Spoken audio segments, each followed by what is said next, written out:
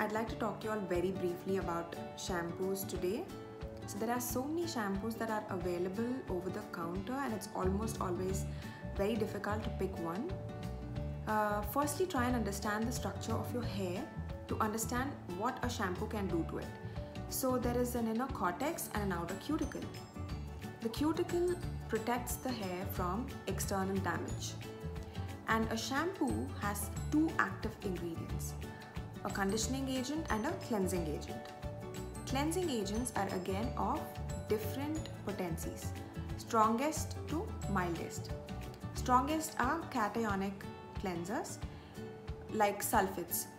So, uh, it's important that we use a good cleansing agent so that all the naturally produced oil or sebum is washed out from the hair along with all the environmental dirt. So now if you have a normal to oily hair, you can use a sulfate containing shampoo. But if you have a dry hair and dry scalp, then you have to stay away from it. So uh, along with that, there is a conditioning agent. The conditioning agents are nothing but these are droplets suspended in the shampoo. It can be a natural oil or it can be silicone that is a synthetic uh, component added to the shampoo. So what does it do is it is charged in such a way that the electric charge helps it go bind to the keratin fiber in the hair cuticle. So that kind of reverses whatever the cleansing agent in the shampoo has done leaving it smooth and sealed. So that there is no possibility of anything else to enter the hair shaft. So if a conditioning agent is not present in the shampoo, then it can leave the hair very dry and brittle because the water enters through the cuticle into the hair shaft, makes it bulge or swell, and then makes it very brittle and prone to breakage. So, if you have normal to oily hair, you have to use a strong cleansing agent and if you have uh, dry hair then you have to use a mild cleansing agent with a very strong conditioning agent. If you're using products like mousses gels uh, then you have to use a deep cleansing shampoo which removes all these uh, accumulated material over the hair shaft. Can you use professional shampoos at home? No because these shampoos are made to neutralize the effect of all the chemicals that are used in the salon to treat the hair.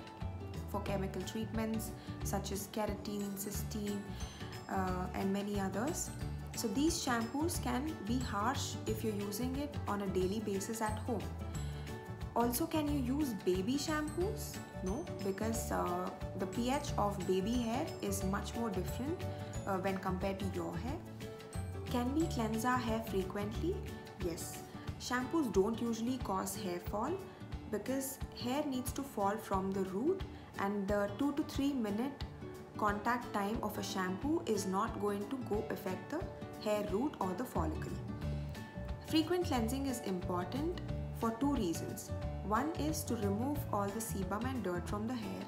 Another one is if you don't wash your hair regularly, you would have noticed that there is a lot of staticity that is produced from the hair when you comb your hair.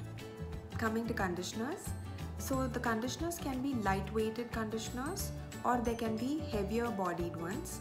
So the light conditioners are the ones we immediately use after shampooing and basic drying of the hair. That is to be left on the hair for 5 to 10 minutes and then rinsed out. Then there are Stronger heavy bodied conditioners also called as hair masks which are to be left on the hair for 20 to 30 minutes and then rinsed out. There are also leave-on conditioners which should be left onto the 70% uh, dried hair and there is no need to wash it off. These are called as blow drying conditioners.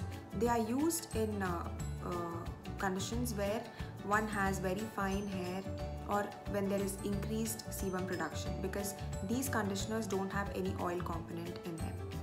There is also another special thing called as hair thickeners.